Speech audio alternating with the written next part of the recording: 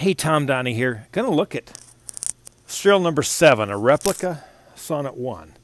And uh, you see the Sonett emblem I showed you there. We're working on the shifter too, and maybe we can get rid of the Hurst and have someone really good like Nick Talaferro fix it for us and put Sonett on that shifter. But this car's got an original 750 GT engine in it.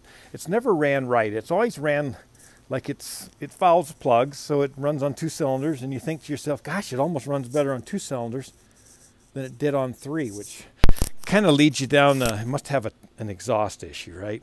Whenever you have a car that doesn't run quite right and fouls plugs on a two-stroke, a lot of times you can lead that back to ignite or to uh, the exhaust system. I have gone through the ignition system, the carburation system, and this is a really cool car. They, they, a lot of great craftsmanship went into making this car, and it's a hoot to drive.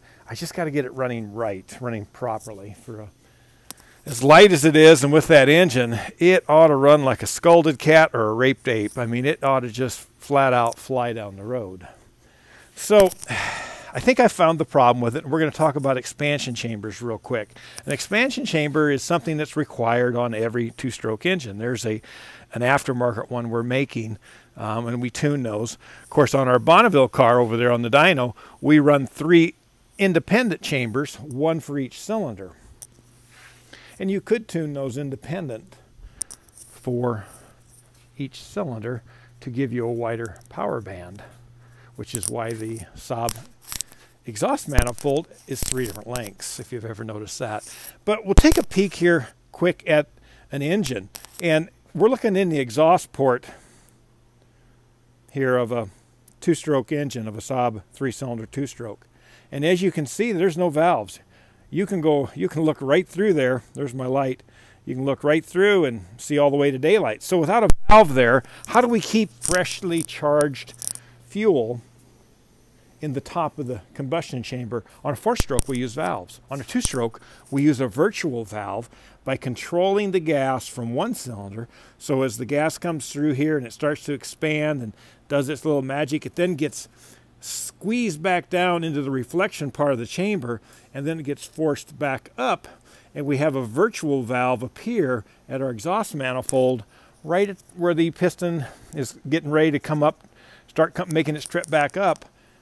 The pressure supplies enough force to keep the freshly charged fuel that's coming in through our intake and working its way through the engine and it, it doesn't exhaust then out the side of the block this virtual sound wave. I guess it's not a virtual sound wave, it's a real sound wave, it's real back pressure, but it becomes a virtual valve. It blocks off and keeps our freshly charged fuel in there. So you got to have that on a two-stroke engine. Um, you got to have back pressure, just absolutely have to have it. On a four-stroke, the exact opposite is true. On a four-stroke, you never want back pressure. Okay, take a look at your top fuel dragsters. How many of them have just a straight pipe coming out? People will commonly say, oh, a four-stroke has to have back pressure, and that is 100% false. A two-stroke, on the other hand, must have back pressure. And what's happened on this Sonett is as good a job as they did you know, in making this car, which I think is phenomenal. Um, I don't know what happened, but they this is what they use. This is a this is one of my front mufflers right here. This is a factory muffler. There's a chamber we're making, and we're making these for the 96s, 93s, 95s. Um, so if you want to add some performance, uh, the quickest way to get performance on a two-stroke Saab is to change your exhaust chamber. And we call them front mufflers, but they're really expansion chambers is what they are. They're not really front mufflers. Yes, they do muffle the sound, but they're expansion chambers. Excuse me. So we'll take a look. This is the system that came off of this car right here. And you can see here's the inlet on it, just like we have here. And then here's the outlet, and they've got a little muffler on the back. And I thought it was probably this muffler till I realized it's see-through. So that's just a sound deadener, not going to cause any restriction. But first thing we noticed is this front chamber has been really hot in here. This is the one off of the car. And you can see how hot that area is there, different color metal. I hadn't actually noticed that right away. One of my uh, longtime employees, Dave Rowe, who's helped with the Bonneville car a whole bunch, been to Bonneville several times. He noticed it right away. He's an old welder and torque converter builder, and he said, hey, that's been super hot. And it has. You can see it. And what's happened here is just because of the way they needed to make the exhaust fit, they had it come in here and they had it come through this hole and up into up onto the exhaust manifold. And it all it actually fits really well like this. Um, again, they hook the head what we call the head pipe here to the outlet and then here's what would be the inlet and it fits beautiful that way. The problem is it won't work that way. And it's evident by this heat and the fact the car fouls plugs and doesn't run well, runs as good on two cylinders as it does three. So I've got a, an exhaust cut apart here so we can take a look at it. And if you ever wonder what one of these pipes look like inside, this is it. And what we have here is the, you know, the exhaust gas goes in through here and it starts to expand in the center belly section just like it does here. You know, here we have an expansion area, we have a belly section right there, and there we have our reflection area. And the front part is called the lead pipe. Uh, the tail is called the stinger everything has a fact is a factor in a two-stroke system. They all have an impact. So what happens is it comes in here, it expands, expands right into here, and then it can't all get out because there's a there's a barrier. If we look down in here, and I really can't do it with one person, but we look down in here, it can't really get out. It hits that the back. It hits the back of that pipe, so it all kind of just builds up back here, rolls around and builds up. So what's that do? Becomes a reflection area. Causes back pressure, forces it back. So the gases build up here. Sound waves work their way back through the pipe. Boom, we come up here, we become a virtual valve for our engine. So that's how the process works. Now we look at the exhaust we have on this car, the front chamber, and I've looked down it and I thought maybe they took the guts out and turned everything 180 in there and that this would truly be the inlet, but unfortunately they didn't. It's the outlet.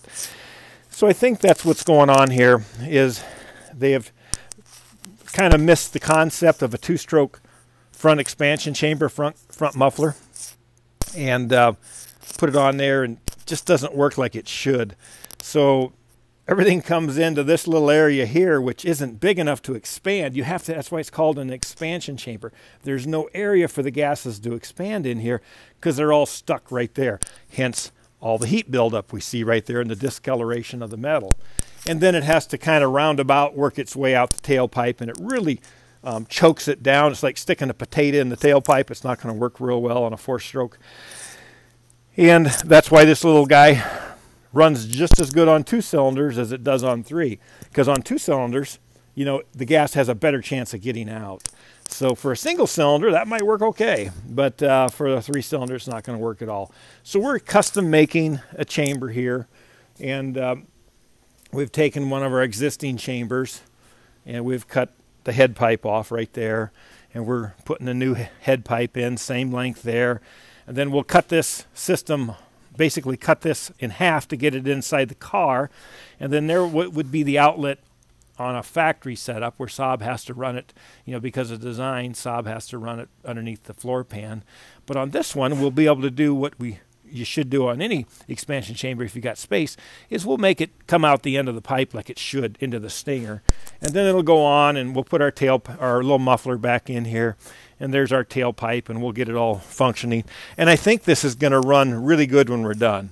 Um, we're working on some shifter stuff, trying to make a reverse lockout on it and make some gates for the shifter because it's it's kind of a bear to drive right now. And this thing is so much fun to drive. We want to make it so that when people come to the museum, we can give them rides. Sometimes you can drive it, whatever, and uh, we can have a lot of fun with it. So once we get this exhaust front muffler expansion chamber issue taken care of, I think it'll be good.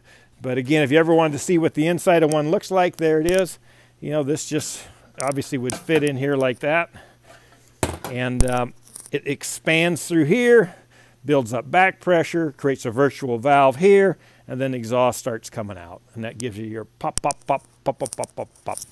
Anyway, um, just kind of an exhaust 101 for two-stroke.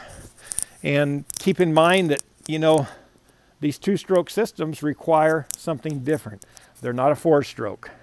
There's a little history on the car. So um, it's not a four-stroke, and you have to have back pressure. All right. So with that said, I think uh, I'll probably just uh, let you guys off the hook and you can get back to doing. Oh, we do we do more than just transmission work. How, would you like to be doing that job? Huh? That uh, engine was out. Anyway, here's a look at our Bonneville car, and there you can see the triple chambers. Those are head pipes, obviously leading down. There's one expansion chamber coming out right there. That's the stinger. And again, the length of the stinger, the diameter of the stinger, everything about the stinger is a factor as well as the reflection part of the chamber. And then the other two run out underneath the car. So it actually fits pretty good in there, as you can see. But uh, that's your best way to get optimal performance. Um, I don't think it matters much till about 7,000 RPMs. Then it seems like we start picking up a lot of power. This engine just flies at 7,000 RPMs. So anyway, that's all I've got for today. Um, appreciate everybody watching and try to keep those two strokes stroking, all right? This is Tom Donney from Fort Dodge and Sturgis, Saab Heritage Car Museum, signing off.